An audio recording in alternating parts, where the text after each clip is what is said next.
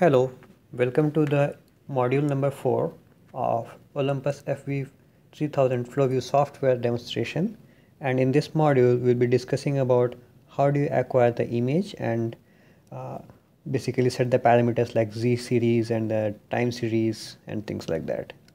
So if you see uh, in the software interface this is the area that we'll be focusing upon right now.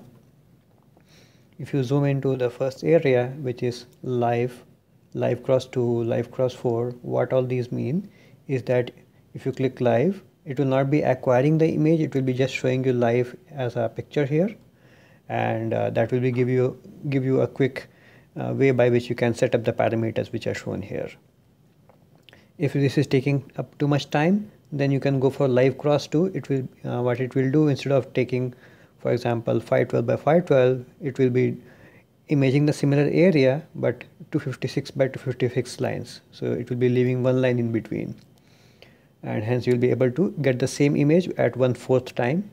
And live cross 4 will be doing that uh, four times fa uh, faster than that the previous live cross 2 so you can get really fast image but uh, a lot of very grainy image. So usually live cross 2 is good enough uh, but you can choose whatever you want uh, what is this halo option? So halo is an option which you can use to highlight the pixels which are uh, zero in signal and are saturated in signal. Why is this is useful? So i have seen most of the people who are biologists who end up uh, seeing beautiful images the green color the red color and the blue color. It looks really beautiful but Unfortunately, it doesn't have the information which is needed for doing quantitative imaging. Uh, by that what I mean is that if you have a lot of background signal and a lot of saturated pixels, uh, you will be having a bad quality image which is not very worthwhile for use in quantitative imaging. If you click halo, then you will be able to see all the pixels which are blue uh, like 0 in signal highlighted as blue in color. Hence accordingly you can adjust the offset parameter so that you can have kind of nice zero background. On the other hand you also do not want to have any saturated pixel in the image. What do I mean by saturation?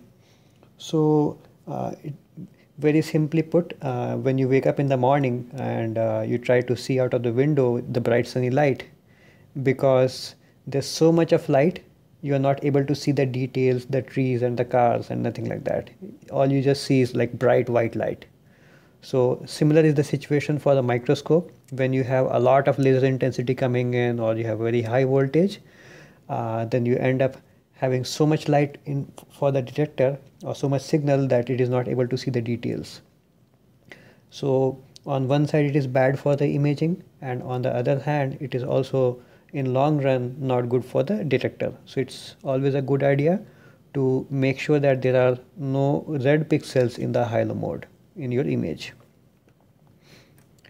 Now if we see this area this is where you can set the time and the z. For setting up time uh, you have to check this option on and then you can set up the parameter like interval how many uh, uh how many cycles do you want up to up till how much time do you want to do it? So this way you can uh, set up the parameter for time series. Similarly uh, for z all you have to do is to click on here and then you can move the focus down to the locus lowest focal plane and click register. And similarly you can move the focus up to the topmost plane and then click register. And this way it will be registering both the start and the end points and if you uh, want to see how many uh, slices are going to be there uh, this will be auto filled anyway based upon the step size. Uh, you can click optimize here to the, do the Nyquist sampling again. Uh, that way you do not have to worry whether you are going to miss out any object or you're going to undersample or oversample. So Olympus guys have done a good job here. Once this is done then you'll be seeing that uh, in next picture that it is giving you overall time required for one image. Uh, when you click LSM start this will be giving you the remaining time and things like that. Mm, further uh, if you acquired the image and you saw that oh it didn't complete all the images or all the planes that I wanted I have some more focal planes to take. You can click append next and it will add more z slices to it in order to save the data the data is automatically saved in the uh, destination folder here. Right now it's C drive. Click on this option and make sure that you are never ever storing any data on C drive. Because if you store data on C drive C drive is small it will fill up really quick and the computer will crash number one. Number two if the computer crash happens then your data is also lost.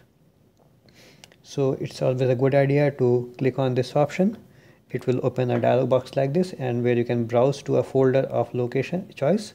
In the D drive if you are acquiring normal data but if you are acquiring streaming data like meaning you are having a high volume of data and high speed data acquisition then you can use the E drive which is a SSD solid state disk.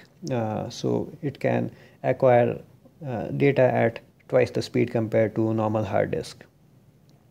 Once you are done with setting up these parameters you can click lsm start and image acquisition is done. Then you can say series done and it will be automatically saved. The software has got a very good feature that uh, if the name is not renamed to a new file name for the next imaging uh, then it will simply add 001 002 without overwriting the old data. So that way you do not end up uh, overwriting your old data and uh, losing all the images great. And once your imaging is done uh, make sure that you cut your folder out of this uh, folder system and put it on the interdepartmental L drive in RCF and users under your net ID folder so that uh, you can take the images with yourself. Uh, the transfer speed of this data is about 10 Mbps. So accordingly calculate how much time it is going to take you. For example for 20 GB data it will take 30 minutes so plan accordingly and uh, use of uh, pen drive or hard disk is discouraged because it sometimes is the cause of corruption of the software. So with that we come to the end of module number four. Uh, we'll see you in module number five. We'll be doing some basic image analysis